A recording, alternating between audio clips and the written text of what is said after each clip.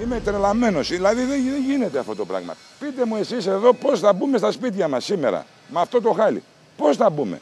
Να πατάμε δηλαδή πάνω στα λίματα για να ανεβούμε να, να μπούμε στα σπίτια μας. Θέλω να μεταφέρω νερό, δεν μπορώ να βγω από εδώ καθόλου. Κοιτάξτε, τι γίνεται.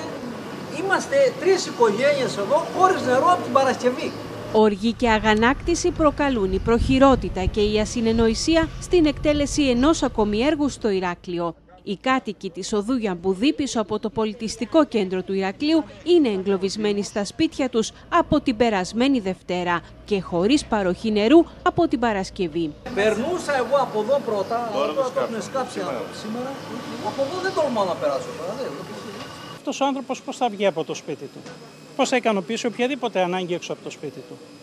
Είναι αποκλεισμένος και θα είναι δυστυχώς για μία εβδομάδα αποκλεισμένος, όχι για μία ή δύο ημέρες. Τα συνεργεία εμφανίστηκαν πριν από μία εβδομάδα, καθώς προβλέπεται η αντικατάσταση των δικτύων ίδρυυσης και αποχέτευσης. Τα έργα πρέπει να γίνονται, αλλά να γίνονται σωστά. Έτσι. Εάν εσείς μπορείτε να περπατήσετε, να μπείτε στο σπίτι μας που είναι κάτω-κάτω στη γωνία, πείτε μου εάν μπορώ εγώ που είμαι 65 χρονών.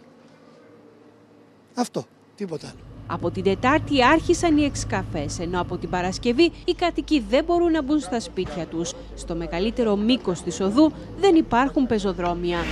Με τη βροχή η κατάσταση έγινε ακόμη πιο ανυπόφορη. Λάσπη και λίματα από τους αγωγούς έχουν καλύψει το χαντάκι, καθώς δεν υπήρξε καμία μέρημνα για να δημιουργηθεί προσωρινή πρόσβαση. Βλέπετε εδώ είναι ή από τις αποχετεύσεις, είναι λίματα.